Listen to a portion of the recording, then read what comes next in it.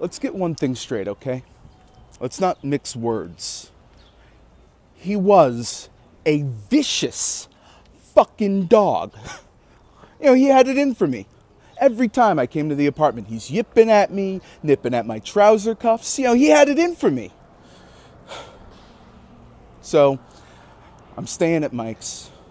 I'm fresh out of the joint. I'm sleeping on this couch. You know, I'm asleep, right? I'm defenseless, right? He pissed on my hand. So I wake up and, you know, I pick him up, just like a guy. I pick him up, I look at him right in the eyes, and then BAM! Next thing I know, he's dead. You know, first, he gets this look on his face like he's forgotten to make an important phone call and he's about to jump out of my hands and say, Excuse me one moment, I've forgotten to make an important phone call. And then he gets this sad look in his eyes. You know, he looks at me just for a second like he loves me.